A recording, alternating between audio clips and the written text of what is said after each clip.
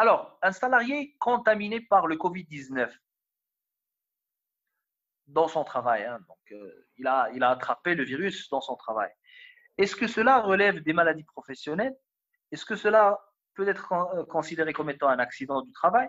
Ou tout simplement, donc, ce n'est ni l'un ni l'autre, mais euh, la responsabilité de l'employeur donc est établie dans ce cas. Alors, il y a pas mal de discussions dans ce sens, il y a pas mal de questions du fait que le Covid-19 aujourd'hui, surtout, surtout parce que les employeurs donc, sont couverts, ont l'obligation d'être couverts euh, en matière de, maladies professionnelles et d'accidents euh, du travail par une assurance. Euh, par une assurance. Donc, ils, généralement, donc, ils essaient un petit peu donc, de se débarrasser de la responsabilité en cas où ils ont manqué de leur obligation de respecter les, conditions de santé. Ils peuvent pousser vers cette orientation donc, pour considérer que c'est une maladie professionnelle ou c'est un accident de travail Donc, euh, la, réponse est non. C'est que bon, le, les maladies professionnelles donc, euh, sont déterminées. D'abord, par définition, ce sont les maladies euh, qui, sont, qui, ont été causées par la nature du travail. La nature du travail. C'est-à-dire, bon, j'ai un problème d'ouïe parce que je travaille dans un lieu où il y a beaucoup de bruit hein, donc, euh, qui a influencé euh, mon sens d'ouïe. Donc, et euh, ça peut être considéré comme étant d'autant plus c'est que ces maladies professionnelles, il y a un arrêté ministériel qui a listé aussi d'une manière exhaustive et limitative les différentes maladies professionnelles. Donc, on ne peut pas considérer catégoriquement, on ne peut pas considérer le Covid-19 comme une maladie professionnelle parce qu'il y a une liste, donc à travers un arrêté ministériel, et deuxièmement, donc sinon, donc on, aurait pu considérer euh, la grippe attrapée dans les locaux du travail comme étant une, maladie professionnelle.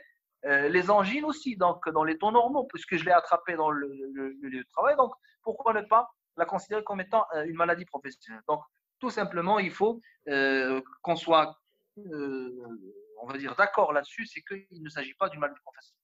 Par rapport à l'accident du travail, l'accident du travail est déterminé, est défini par la loi 1812, donc euh, relative donc aux accidents du travail et aux maladies professionnelles. Donc, et on voit clairement dans la définition donc que la maladie, le Covid-19, donc est loin, très loin de cette définition.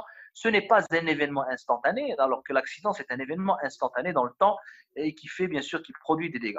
Maintenant, la responsabilité de l'employeur en cas de contagion, bah, tout simplement, on doit revenir aux règles générales du DOC en matière de responsabilité civile, délictuelle, donc contractuelle. Aujourd'hui, il y a une discussion, puisque le Code du travail dicte aujourd'hui à l'employeur donc d'avoir de, de, de,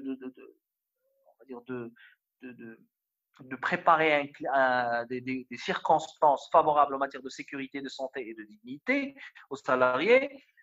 Aujourd'hui, si on trouve que la maladie du Covid-19 attrapée par un des salariés est due euh, au non-respect de ces mesures, donc la responsabilité de l'employeur peut être établie. Donc, par définition, la responsabilité civile euh, a, trois conditions. Donc, il faut qu'il y ait euh, une faute de l'employeur, il faut qu'il y ait un dommage, donc qui est bien sûr donc la, maladie, et il faut qu'il y ait un lien de causalité entre la faute et le dommage.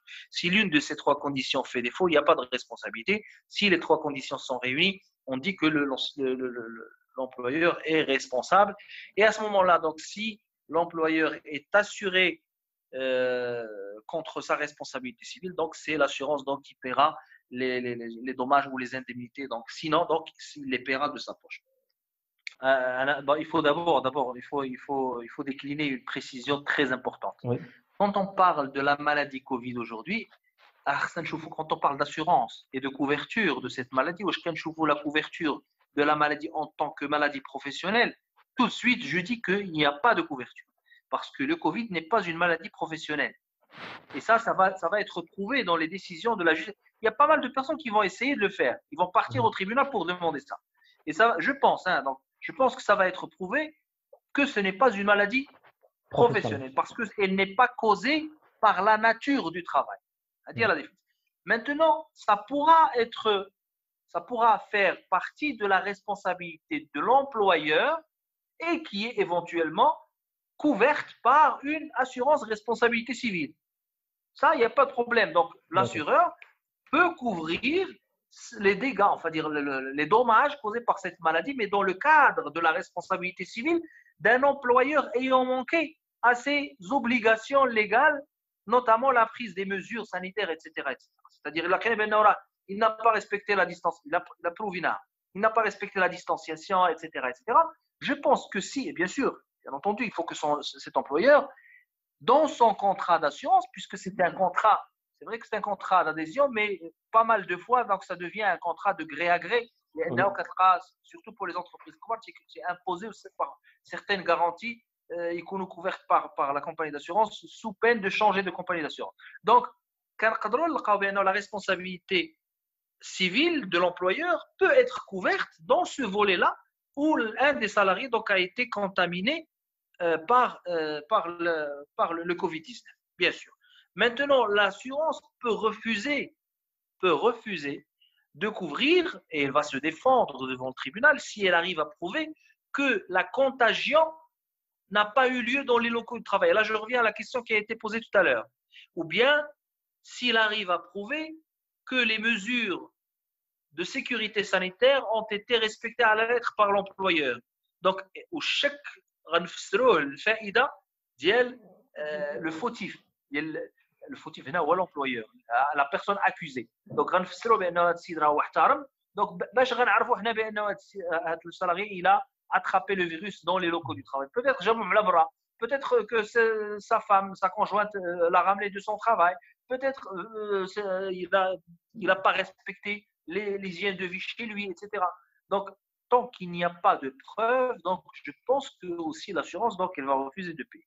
Mais si la responsabilité de l'employeur est établie, c'est-à-dire il y a un manquement de sa part, mmh. je pense que ça pourra faire l'objet d'une couverture ou d'une réparation de la part de l'assurance dans le cadre de la responsabilité civile, pas dans le cadre des maladies professionnelles.